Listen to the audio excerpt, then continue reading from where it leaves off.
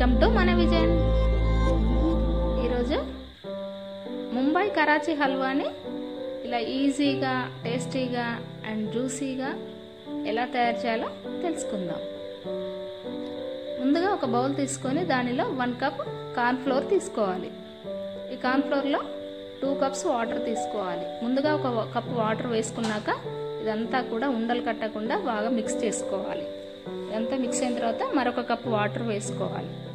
ఇదంతా కూడా ఒకసారి కలుపుకొని పక్కన పెట్టుకోవాలి. నెక్స్ట్ స్టవ్ వెలిగించుకొని ప్యాన్ పెట్టుకున్నాక దానిలో టూ కప్స్ షుగర్ వేసుకోవాలి. వన్ కప్ కార్న్ఫ్లోర్కి టూ కప్స్ షుగర్ సరిపోతుంది. తర్వాత దీనిలో హాఫ్ కప్ వాటర్ వేసుకొని ఈ షుగర్ అంతా కరిగే వరకు ఇదంతా బాగా కలుపుకోవాలి. షుగర్ కరిగిపోయిన తర్వాత మనం ఇంతకుముందు కలిపి పెట్టుకున్న కార్న్ఫ్లోర్ని మరొకసారి కలుపుకొని ఈ షుగర్ వాటర్లో వేసుకోవాలి. ఇది కొద్ది కొద్దిగా వేసుకుంటూ ఉండలు కట్టకుండా నెమ్మదిగా కలుపుకోవాలి. ఇదంతా చాలాసేపు ఇలా కలుపుకున్న తర్వాత ఇదంతా కూడా ఇలా జెల్లులాగా తయారవుతుంది. దీనిని అంతా కూడా నెమ్మదిగా కలుపుకుంటూ దీనిలో కొద్దిగా నెయ్యి యాడ్ చేసుకోవాలి.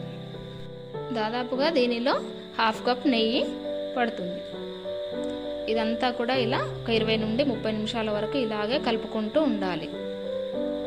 ఇలా కలుపుకుంటూ దీనిలో హాఫ్ టేబుల్ స్పూన్ ఇలాచి పౌడర్ యాడ్ చేసుకొని అలాగే కాస్త కలర్ కోసం ఇక్కడ నేను ఆరెంజ్ ఫుడ్ కలర్ని వేసుకున్నాను. వేసుకొని ఇదంతా కూడా బాగా కలుపుకుంటూ ఉండాలి. దీనిని మనం ఎంత ఎక్కువగా కలుపుకున్నట్లయితే ఆ హల్వా కూడా అంత బాగా వస్తుంది. ఇదంతా ఇలా కలుపుకుంటూ మరి కాస్త నెయ్యిని కూడా యాడ్ చేసుకొని కొద్ది కొద్దిగా యాడ్ చేసుకుంటూ కలుపుకోవాలి.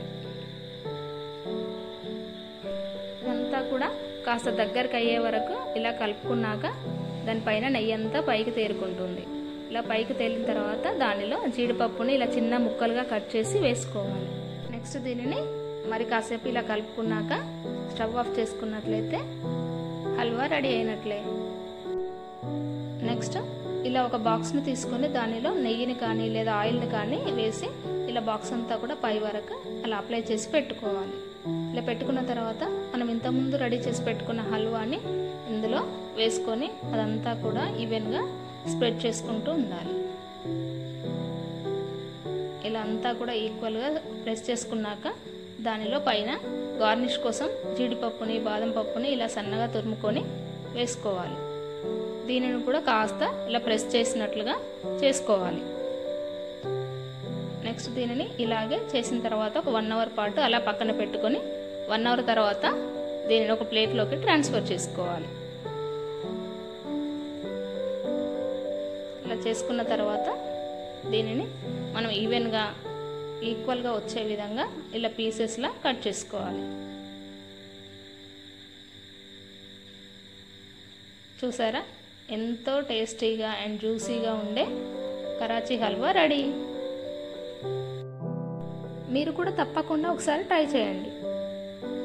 ఈ వీడియో కనుక మీకు నచ్చినట్లయితే లైక్ చేసి షేర్ చేయండి. అలాగే సబ్స్క్రైబ్ చేయడం మాత్రం మర్చిపోకండి. Thanks for watching